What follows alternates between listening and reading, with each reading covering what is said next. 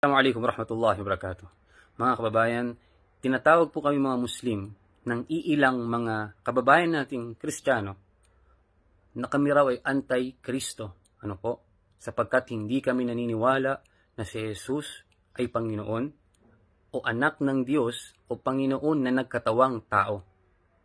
Hindi kami naniniwala. Totoo mga kababayan, hindi kami naniniwala dyan. Ngunit kami ay naniniwala na si Jesus ay isang sugo at dakilang propeta ni Allah na ipinadala sa angkan ni Israel upang hikayatin ang mga tao na sumamba sa nag-iisang Diyos. At hindi kami matatawag na Muslim hanggat hindi kami maniwala na si Jesus ay kabilang sa mga dakila at marangal na sugo ni Allah. Sapagkat kabilang sa mga paniniwala ng isang Muslim ang paniniwala sa lahat ng mga propeta. At kabilang rito si Heso Kristo. Tanda na kami ay naniniwala kay Jesus, mga kababayan. Ako po ay magbabasa sa inyo ng isang talata mula sa banal na Quran. Ito po. Kung inyong pagmamasdan mga kapatid, ang Quran ibinaba sa wikang Arabic, ano po, sa Arabic language. At ang Quran, bagamat may salin ito na wikang Pilipino, ang original na anyo ay hindi nawawala. Ano po? Hindi katulad halimbawa ng Biblia, ito, purong Tagalog, nawala na ang original na salita na ibinaba kay Yeso Kristo nakapayag, nakapahayagan ng Diyos. Ano po? Nawala na rito. Ano, yung, ano ang salita o ano ang lingwahe ni Yeso Kristo, ang Aramaic? Nawawala na po at nawala talaga. Hanggang ngayon ang original na kautusan ng Diyos kay Yeso Kristo ang ebanghelyo sapagkat ang Biblia salit saling lahi na. Ito may Biblia rito na uh, Arabic, ito po, Arabic version ng Biblia, Al-Kitab al-Muqaddas, tawag dito hindi Bible, magkaiba. Hindi ko alam kung saan yung paniniwalaan ko dito, ito ba o ito. Bagamat hindi kami hindi namin hindi bagamat kami mga Muslim, hindi naniniwala na ang mga yan ay salita ng Diyos sapagkat wala na sa original na anyo. Tingnan niyo mga kapatid, tandaan na kami ay naniniwala kay Yesu Kristo. Magabasa ako sa inyo ng ilang talata sa Biblia. Ito po ang original niya na nasabi na salita ni Allah. إذ قال الله يا عيسى بن مريم اذكر نعمتي عليك وعلى والدتك إذ أيدتك بروح القدس تكلم الناس في المهد وكهلا وإذ علمتك الكتاب والحكمة والتوراة والإنجيل وإذ, وإذ تخلق من الطين كهيئة الطير بإذني فتنفخ فيها فتكون طيرا بإذني وتبرئ الأكمه والأبرص بإذني وإذ تخرج الموتى بإذني وإذ كففت بني إسرائيل عنك إذ جئتهم بالبينات Faqala alladhina kafaru minhum in hada illa sihrun mubin. Ngayon mga kababayan, yan yung Arabic, binasa ko lamang at babasahin natin ang saling mula sa wikang Pilipino. Ito po. Ito po ay mabasa natin sa chapter Maida, ayan, chapter 5. Maida verse uh, 110. Mabasa dito. At alalahanin kung si Allah ay nagwika sa araw ng muling pagkabuhay, O Jesus, anak ni Maria. Tingnan niyo po. Naniniwala kami mga Muslim na si Jesus ay anak ni Maria at siya isang sugo ni Allah subhanahu wa ta'ala. Iyong alalahanin ang aking kagandahan sa iyo at sa iyong ina nang ikaw ay aking patatagin sa pamamagitan ng Ruh al-Qudus. Ito ay si Angel Gabriel. No? Ang mga kababayan nating katoliko, ito yung tinatawag nilang Espiritu Santo. Ano po? Si Angel Gabriel. Upang ikaw ay makapangusap sa mga tao mula sa iyong duyan. Tignan niyo po. Kami mga Muslim naniniwala na si Jesus ay nagsalita nung siya nasa duyan pa lamang, no? isang sanggol. Ito ay nabanggit dito sa Quran at sa sunan ni Propeta Muhammad sallallahu alaihi wasallam. At ang unang sinabi niya roon, Inni abadullah, ako ay lingkod, ika ni Allah, sabi ni Jesus. Sa ibang talata sa chapter, Maryam naman yun. Sabi rito, at makapag-anyaya sa kanila, no?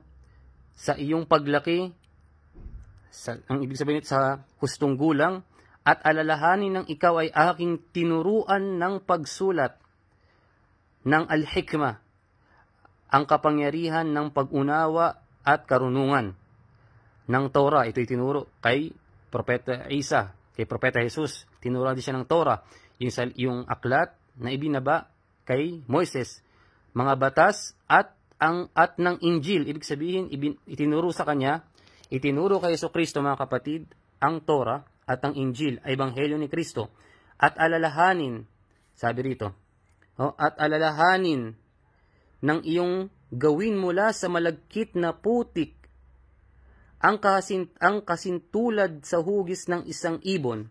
No, ibig sabihin sa Jesus daw ay gumawa, kumuha siya ng putik, ano po, at ginawa niya itong hugis, ibon. Ginawa ito ni Jesus, sa aking kapahintulutan at hiningan, no? Hinipan mo ito at ito'y naging ibon. Mashallah, ito ay naging ibon. Mula saan? Sa lupa, no? Mula sa malagkit na putik, ginawang si Jesus, ginawa niya itong hugis ibon at inihipan niya at naging ibon. Sa aking kapahintulutan ika. Ito, sa kapahintulutan nino? Ni Allah. At iyong pinagaling ang mga bulag at mga ketongin sa aking kapahintulutan. Ibig sabihin, si Jesus, pinadilat niya ang bulag at pinagaling niya ang ketongin sa kapahintulutan nino ni Allah, hindi sa kagustuhan ni Jesus at sa kanyang kapangyarihan mismo, bagkos ang lahat ay nagmula sa kapahintulutan ni Allah. At alalahanin ng iyong ibalik ang malay ng patay, no? Ibig sabihin, binuhay niya yung patay, buhayin o pabangunin sa aking kapahintulutan. Ito rin sa kapahintulutan ni Allah subhanahu wa ta'ala ng binuhay ni Jesus ang patay. At ng aking pigilan ang angkan ni Israel, angkan ng Israel tungo sa iyo, nang sila ay magkaisa, no, na ikaw ay patayin. Ibig sabihin mga kapatid, ang gustong pumatay kay Heso Kristo, ang gustong magpako sa kanya, sino? Mga Israel. Yung mga Hudyo. Bakit ang mga Kristiyano galit sa mga Muslim?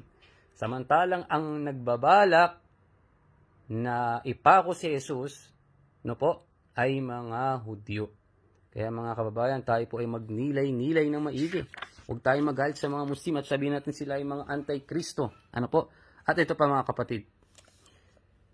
Sinabi rito ni Allah subhanahu wa ta'ala, at alalahanin kung si Allah ay nagwika sa araw ng muling pagkabuhay, o anak, o Jesus, anak ni Maria, iyo bang ipinahayag sa mga tao na sambahin ako, no, sambahin si Jesus, at ang aking ina, bilang dalawang Diyos bukod pa kay Allah?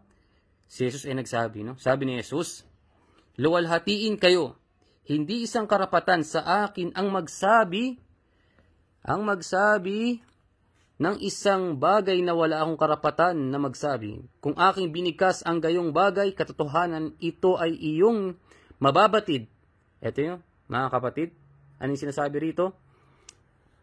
Si Jesus, wala siyang sinabi na siya ang dapat sambahin. Mga kababayan, ano po, nalaman natin dito na si Jesus ay hindi siya nagsabi, sinasabi sa Quran, wala siyang sinabi na ako ang Panginoon, dapat inyong sambahin. Bagkos, ang kapahayagan ni Jesus, no, ang kanyang utos ay sumamba sa nag-iisang Diyos na si Allah. Ito pa mga kapatid, tanda na hindi kami anti-Kristo. No? Bagkos mahal namin si Yesu Kristo. Ito, sa banal na Quran, mayroong chapter, Surah Maryam. Surah Maryam. Ano po? Nakalagay rin dito mga kapatid ang unang salita ni Jesus nung habang siya'y nasa diyan. Babasahin natin dito. Hanapin natin dito. Sabi rito. Ito yung sabi ni Jesus. Ano, Qala inni abdullah atani al-kitab wa ja'alani nabiyya. Sabi rito.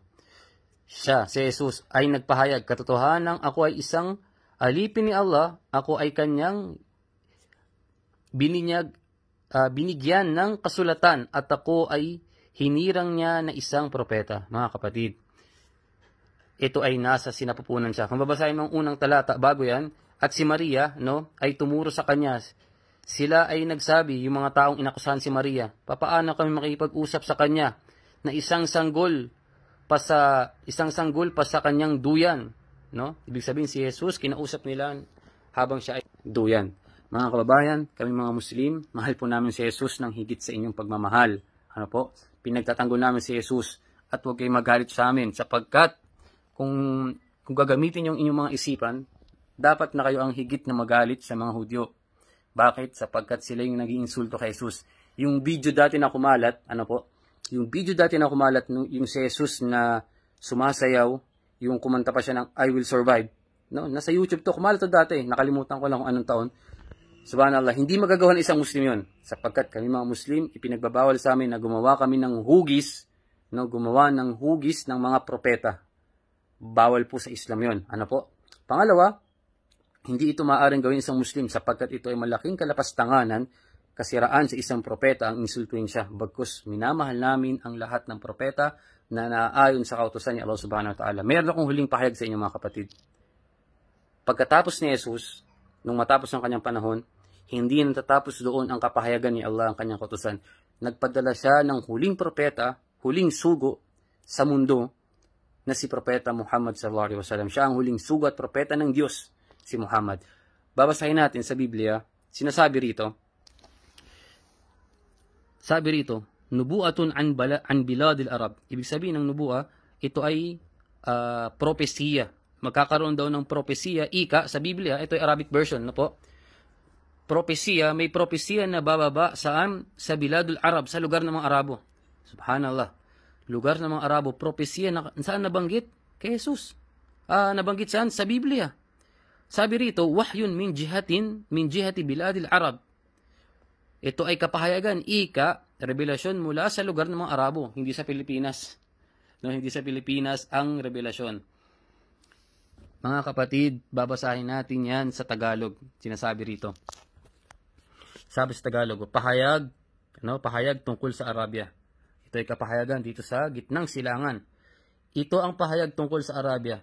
Kayong manlalakbay na mga tagadidan na nakahimpil sa mga disyerto ng Arabia, bigyan ninyo ng inumin ang mga nauuhaw. Mga kapatid sa Islam, ano po, mga kababayan na Kristiyano. Ang ugali ng mga taga-Madina, taga-Makka, mahilig po silang magbigay ng tubig sa mga manlalakbay bago pa dumating ang Islam. Ito ay nakasaad saan? Sa Biblia. Saan ito mabasa mga kapatid? Ito. Sa Isaias, mabasa siya. Ibig sabihin, sa Saan tumabasa mga kapatid? Sa Old Testament. Yung Old Testament, kanino binaba ito? Kay Propeta Moises, hindi po ba? Nabanggit na roon na may kapahayagan na manggagaling sa lugar ng mga Arabo. Ano po? At yung kapahayagan na dumating kay Jesus, ito po ay sa Israel. Sa Israel. At pagkatapos ni Jesus, dumating ang huling propeta na si Muhammad na ang unang kapahayagan na ibinaba ni Allah saan? Sa Makkah, sa bundok ng Garul Hira. Kaya mga kababayan, Huwag po kayo magalit sa mga Muslim. Kami, nagpapahayag lamang po kami. Ibinabahagi lamang po namin ang katotohanan kung anong utos ng Islam na sambahin, no, himukin ang mga tao na sumamba sa nag-iisang Diyos na si Allah, ang aming Panginoon at ang inyong Panginoon, ang, naglag, ang lumikha sa amin at lumikha sa inyo, ang nabigay sa inyo ng puso na marunong umunawa at isipan na malaman ang katotohanan at mali. Wa sallallahu wassalamu ala nabiyina Muhammad wa ala alihi wa sahbihi ajma'in.